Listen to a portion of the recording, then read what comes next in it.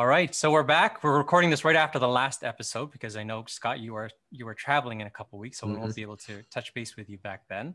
Mm-hmm. Uh, so next topic, this topic I want I wanted to ask you about is regarding the um, the interesting article that you had published on Forbes.com. Congratulations mm-hmm. on that. That's pretty. Thank you. Pretty darn cool, by the way.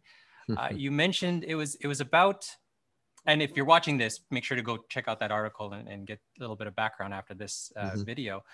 Is uh, you're talking about um, uh, addressing the the opportunities now and post pandemic, and mm-hmm. the fact that both, um, well, at least you mentioned Bill Gates, but I know that also Warren mm-hmm. Buffett had mm-hmm. entered the self storage space mm-hmm. last year in 2020. Mm-hmm. Now, considering that at the time of this recording, it looks like the next stimulus package of 1.9 trillion it's mm-hmm. an insurmountable unimaginable amount looks yeah. like it's going to get pushed through and mm-hmm. there's like thousand dollar up to maybe fourteen hundred dollar individual stimulus checks uh, mm-hmm. uh, being sent out to individuals how how do you think all this stuff comes together and what do you think that's going to affect that might have if any uh, in the short and medium term for self storage Wow. Okay. So, uh, uh, you know, in the macro sense, if we're talking about, uh, you know, the economy and the market in general, um, you know, we could go a lot of different ways with this for a while, as you know. So yeah. let's um, uh, uh, perhaps catch everybody up to speed as to where we're at from the end of 2020. And that is, um, yeah, in the beginning of the pandemic, self-storage benefited uh, greatly. Um, and again, we don't celebrate pandemics, we don't celebrate recessions, but we we benefit. This industry benefits greatly when we have those occurrences. Uh, fortunately, we haven't had many um, pandemics and we've had to navigate through this one. But what happened and what happens uh, during those times is that, you know, we saw an awful lot of businesses shut down immediately. They put their mm-hmm. inventory and they put their things in into storage, and that caused a huge ramp up in demand. Uh, we saw an awful lot of folks going home and uh, working from home, and that meant they had to clean out a bedroom, they had to clean out uh, the, the living room or some space for at least one, if not um, sometimes two uh, workers that came back. You know, mom and dad came back home to work and they had to clear out some space.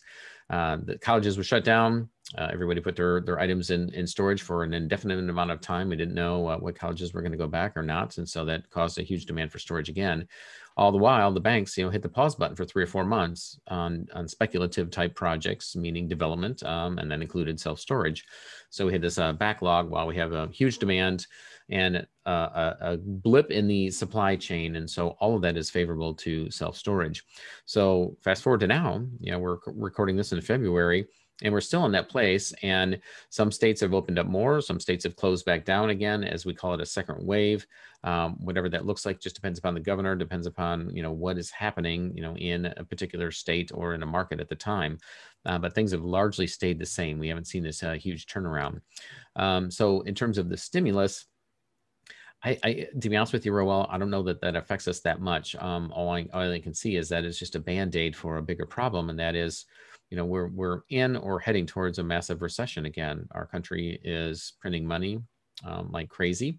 There are mm-hmm. businesses that have not opened up. The folks that could hold on, they were holding on by you know a thread, and so you know many companies are still struggling through uh, the pandemic and the economics of that. And there there are more layoffs, and there are more jobless claims, and there are businesses closing down and anytime we have trauma and transition in our in our economy that creates a, a, demand and a need for storage so we will begin to see the less and less of the free money out there even if it's just a small check of $1400 or $1000 uh, but also those uh, moratoriums on evictions at the apartments you know those are burning off now. You know all of the other programs that were put in place um, in both the private and the public sector you know those are all going away.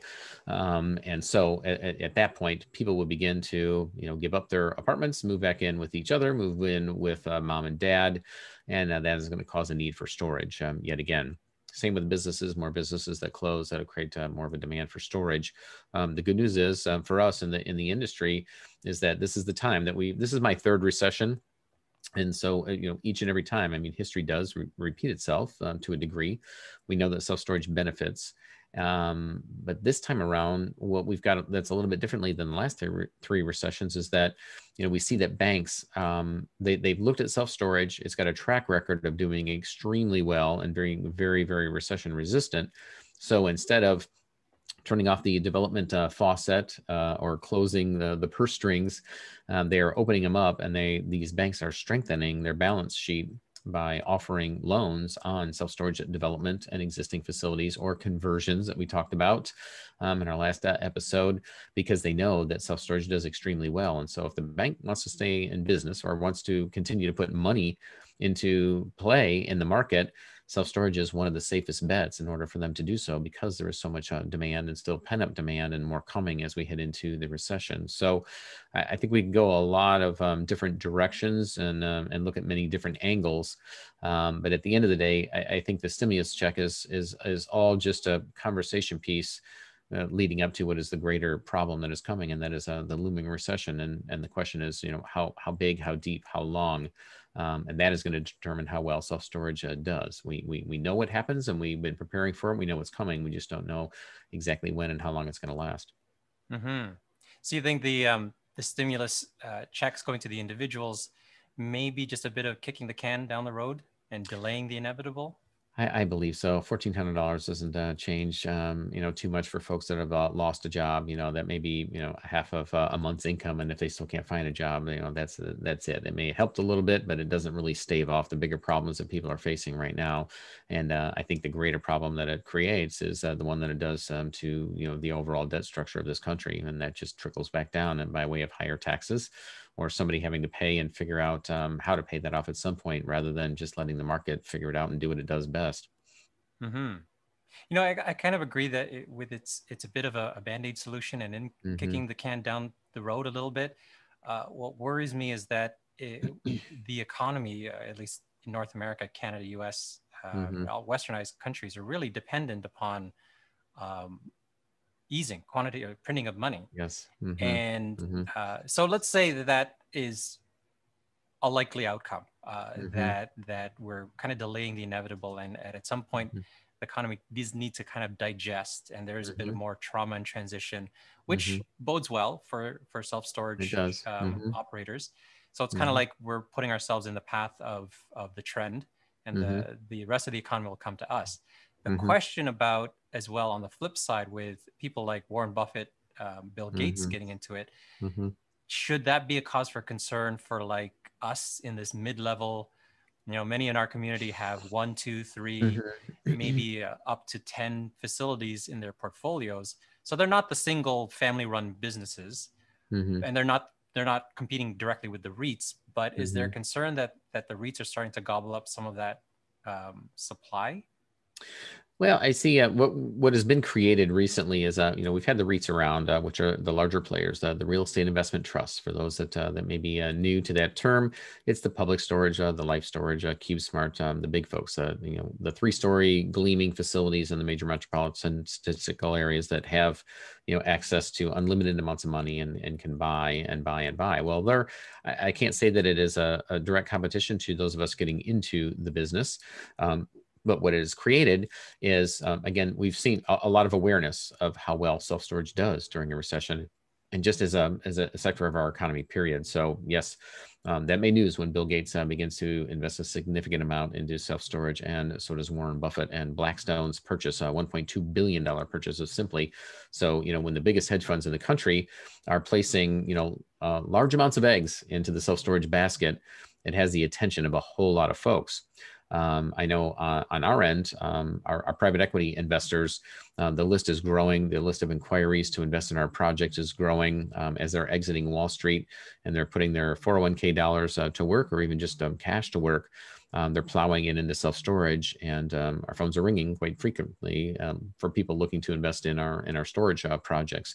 So what that does is that um, then it creates and it has created um, a mid REIT as we call it, and that's a term that is going to be spoken about. I don't know if anybody's coined it yet or or trademarked it, but you it's heard it here first. Scott Meyers. heard it here first.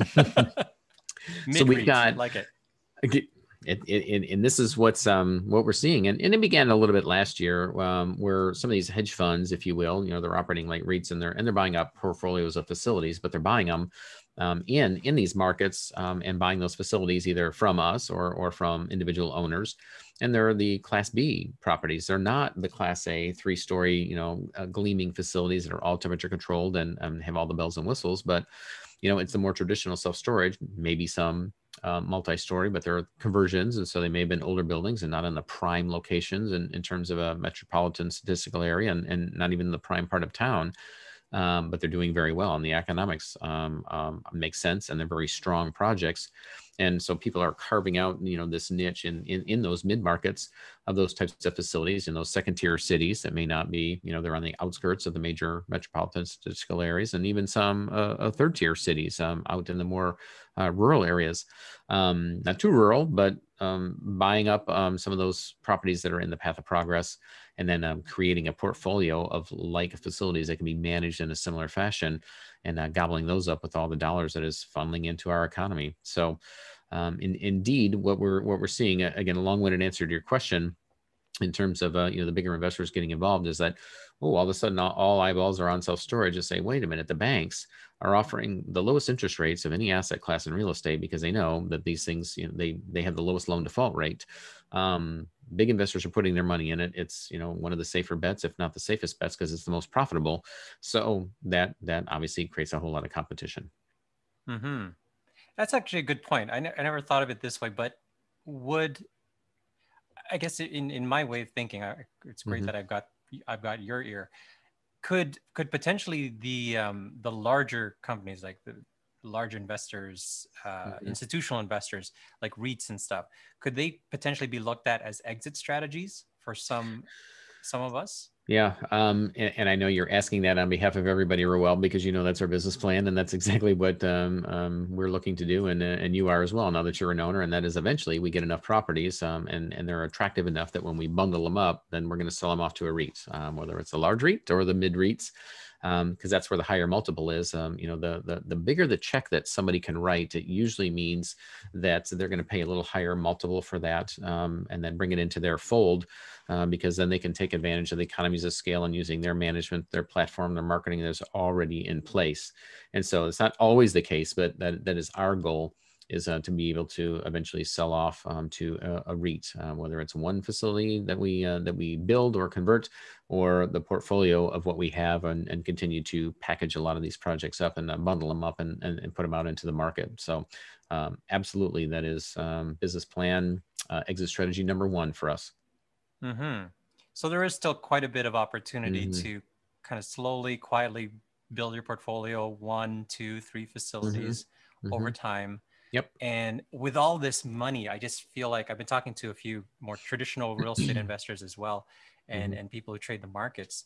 There's just all if with all this extra uh, currency being mm-hmm. dumped into mm-hmm. the general public, mm-hmm. you know, as well as I do, it starts to kind of gravitate to the fewer and fewer and move its Correct. way up that that food mm-hmm. chain. So mm-hmm. one of those things is is people who own assets um, end up if they're managing it properly, best practices that those assets end up increasing through through market appreciation. Mm-hmm. But mm-hmm. Um, with the best practices that that we teach in our community, mm-hmm. what would you say would be uh, the, I guess the the the best value add play uh, with um, with existing facilities in terms of the mm-hmm. opportunity going well at least for this year I, I think um, the main thing is, um, you know, when you buy, you should already be thinking about your exit strategy, and and that's the, that encompasses a lot of things. Um, you know, so if you're buying a facility, uh, you find something that's been hanging out there for a long time, um, and has a car wash on it as well. Well, that's probably the reason why it's been hanging out there for a long time. You know, people that are in the car wash business usually buy car washes and not storage. People in the storage businesses usually buy self storage and not something with a car wash on it. And so, if the pool of buyers is smaller, then I'm going to have um, less chance of selling it, and I'm also going to have to discount it um, as well. So I may not make as much as I want. But if you're buying something that is going to be very desirable in four or five years from now, after you Im- have improved it, whether it's bare land or whether it's a, a self storage facility that you're just going to turn around or whether it's a storage facility, you're going to turn around and you're going to build, you know, an additional 20,000 square feet on the land that is currently on the site or that you're going to buy next to it. Or if it's a big box retail that you're going to, you know, do a massive conversion on it and in five years sell it. Um, you should always be looking at who's my buyer and is it going to be attractive to them? Is there anything about this that is not going to get me top dollar and maximize that? Um, if I'm buying one acre of land and expecting to build something that a, a REIT's going to buy at a, at a high multiple, well, I'm not going to be able to put much storage on it, and so you can't get the economies of scale from a management standpoint or or anything else from an operations standpoint. Um, that's probably not the best strategy. So always putting yourself and your project in the best light that says, you know, here's what the REITs are looking for. They want a population of X. They're looking for infill locations. You know, the the rental rates in the market has to be strong. Um, we have to be, you know, close to perhaps you know good schools and close to a lake. You know, whatever that looks like. But you know, the facility itself um, 60,000 square foot or higher. You know, well, that's what the REITs want. They want a bigger uh, project. And then all of these other things. It can't be tucked back in an industrial part of town. It can't be on the middle of a farm field.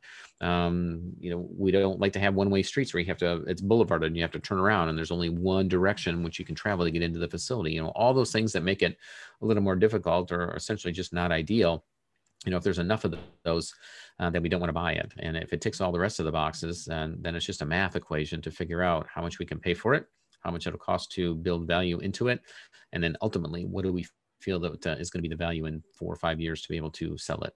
So again, pointing back to our consultants um, to do a feasibility study and then do our own underwriting on it to determine if it's a project worthy of uh, moving forward with or not.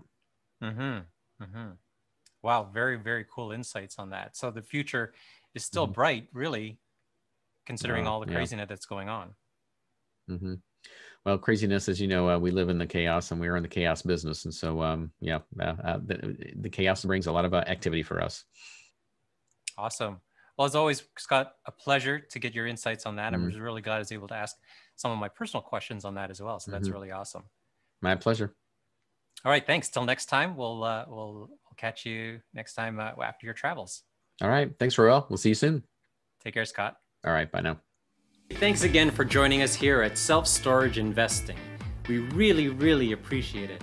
For more great content like this, make sure to click the subscribe button below this video.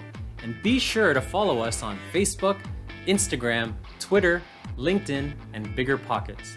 You can also visit us at our main website at selfstorageinvesting.com, where you'll find even more free content our ebook, and registration to our free webinars and education courses, and much, much more. Once again, for more great content like this, please click the subscribe button below. Thank you.